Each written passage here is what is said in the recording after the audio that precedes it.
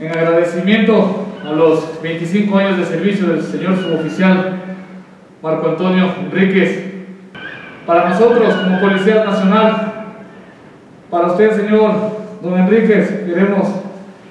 que tenga nuestro más sincero agradecimiento por parte de la Policía Nacional por toda esta labor que ha ido desarrollando durante toda su carrera institucional. El día de hoy se va a realizar un minuto cívico por parte de la Policía Nacional con diversas autoridades del cantón, debido de la despedida del señor suboficial Marco, eh, Marco Enríquez,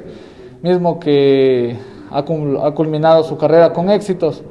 y se le va a proceder a realizar un evento conjuntamente con su familia y a la entrega de un reconocimiento por parte del Distrito Girón. Para mí es un honor despedirme de esta bella institución policial y de todas las personas aquí presentes. Que Dios les bendiga, también quiero expresar mi gratitud sincera de respeto y consideración a cada uno de mis compañeros que formamos este distrito de Girón por el trabajo y el profesionalismo que aportamos cada día para que nuestra institución policial esté en los sitiales que se merece. La jefatura política del Cantón de Girón, la tenencia política de la parroquia de la Asunción, la vicepresidencia de la parroquia del GAT parroquial de la Asunción, reconocen la noble actitud altruista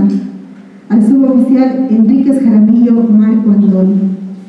por su grandiosa e incansable labor del servicio al país. Gracias por el trabajo de todos los días. Desde aquí y por el intermedio queremos agradecer este, este enorme gesto, ratificando nuestra felicitación, agradecimiento y apoyo en la, en la consecución de un mejor Ecuador para todos. No lo tomemos como una despedida, sino como un nuevo comienzo en su vida.